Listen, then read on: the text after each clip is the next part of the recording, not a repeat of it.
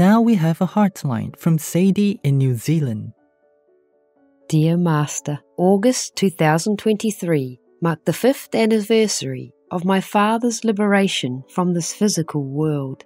He was diagnosed with terminal cancer and was given three months to live. I knew that my father was deeply saddened by the news. However, he told us not to cry and turned to his Buddhist faith for strength. He meditated every day and visited the temple regularly until he was physically unable to do so. As I walked home one evening after visiting my father, an inner voice told me to return with a picture of Master. I brought back a pendant with Master's photo and hung it on the wall behind him.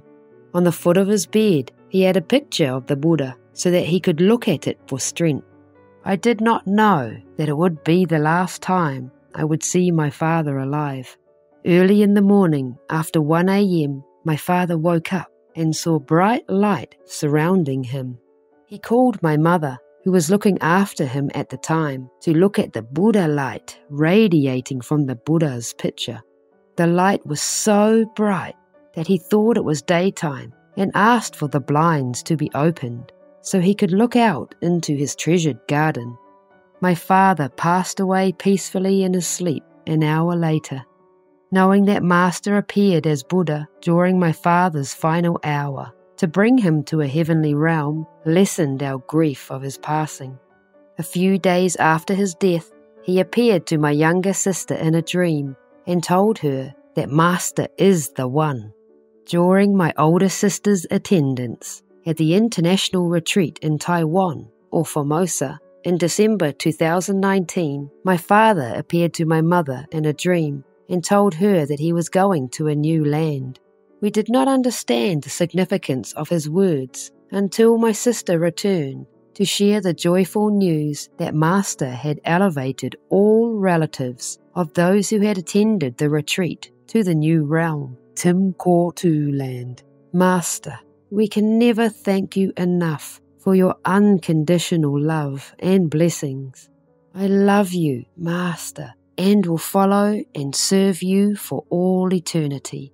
May you always be protected by all the gods and godses in the universe. Your humble and devoted disciple, Sadie from New Zealand. Faithful Sadie, thank you for your heartline. Master would like to send a heartfelt message to you. Filial Sadie, Thank you for sharing your story of your father's passing from this world into the glorious heavens. Surely it will bring many disciples peace that their relatives are truly taken care of by the Master Power and can be elevated along with them. May you and the confident people of New Zealand rise into oneness with divine origin and enjoy heavenly grace forever. Embracing you with love. Vegan leader, Evan's beloved leader. We welcome your heartlines, stories, and or cute loving animal people clips. Please send them via suprememastertv.com forward slash heartline.